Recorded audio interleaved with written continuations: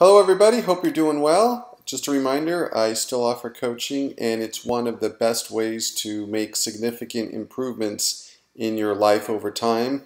And my prices are ridiculously low. So, the, check the email, send me an email if you want the free consultation, and then the first session is five bucks. You can't lose. All right, let's start with a thing called momentum. Momentum is really your saving grace in getting the things done that you want in your life. And we either propel the momentum or we block the momentum. And once that momentum is blocked, it's like trying to move a big boulder downhill. Initially, it's really hard to get the ball rolling again or getting the rock rolling again, and it takes a lot of effort, force, and there's going to be resistance. And one of the things that really challenge us today and challenge a lot of my clients is there's so many temptations. There's the biggest one is the internet and all the plethora of things that are available to do uh, on the internet Facebook, YouTube, Reddit, video games, all that type of stuff really can be a huge distraction and block for you to accomplish what you want out, out of your day. And then afterwards, you the time flies. You spend one hour, two hours, three hours. Before you know it, a good portion of the days pass, and then you feel really bad. You feel bad about yourself. Why didn't I get more accomplished? I should have been more productive. Now, I'm not saying not to do those things. Those things can be a time suck. And one of the ways, a tool that I'm going to recommend is to time it. Set a little clock, whether on your phone, on your computer. Uh, for Mac, I use a program called Time Bar, which is fantastic. It has a little bar at the top and it disappears. But you want to time your breaks. So if you're going to go on the internet, go on Facebook, your monkey mind wants that immediate gratification. It wants that pleasure. It wants to not have to put forth effort. It doesn't see the value of short term sacrifice for a, benefit that is off in the future. And in fact, you want to consider those as almost like you have two parts of your being there's the present self and the future self.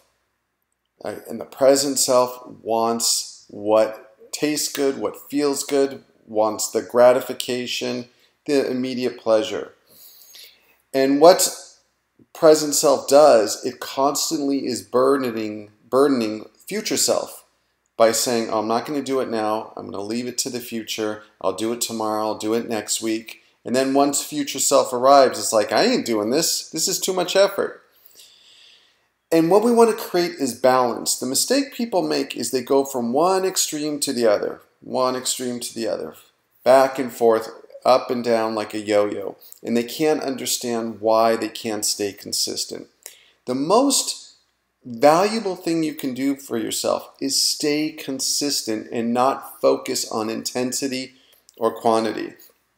So, with my clients, when we start off our goals, if they have an exercise goal or losing weight or they want to study more and they want to be more disciplined or whatever area they want to be more productive, start really, really small. I tell my clients, give me anything. If you can give me five minutes of exercise, go out for a short walk, we can do wonders with that. And the nice thing about coaching is that you now have the social accountability which is completely different than trying to do these goals on your own. You have somebody supporting you, encouraging you, and most importantly, holding you accountable. And that that makes the difference. Whereas before you're trying to accomplish goals on your own, we're not isolated beings. We are meant to be social. So that that's also a huge help. Is having someone to hold you accountable and encourage you. All right, so you want to have that momentum by setting short, little, achievable goals. So, if your goal is to exercise five minutes, if your goal is to study, whatever your goal is, balance it with the things that you still like to do. So if you like to go on the internet, go ahead and do that, but cap it. The problem is we don't set any limits for ourselves. When we're doing something, engaging in a behavior that's just a short-term pleasure, it's just the monkey gets caught up in it, and, and like I said before, you know what the days uh, has been passed, passed you by. And so what you want to do is just take a little timer, set the timer, and limit it, and say, okay, I'm going to do 30 minutes of this, of watching videos or going on Facebook, and then once that timer goes off, go back to what you have to do to be productive. A great technique is called the magic work cycle, and there's even a website um, that has a built-in web timer of 30 minutes on, 30 minutes off. I mentioned that in previous videos. Another great thing you can do to motivate yourself is to get out of the house. Get out of your apartment. Go to the library. Go to a coffee shop. Go to a, a restaurant. Whatever it is, there's so many anchors we have and habits that are deeply ingrained when we stay at our house or our apartment. It's associated with relaxation and procrastination and short term pleasure. You double, triple, or quadruple your productivity rate just by getting out of the house. Now, make sure the new place that you go, you keep to good habits. You don't develop the same procrastinating habits out there. And once you once you do that, you start really noticing a difference. Your energy is different. You're more productive. You're more focused getting out of your house. So two things: get out of your house, and the second thing is time. Set a timer. Time everything. If you want to be productive, you, um, the, the uh, Pomodoro timers is a great resource, a great tool in order to help you be productive. Use the Pomodoro timer.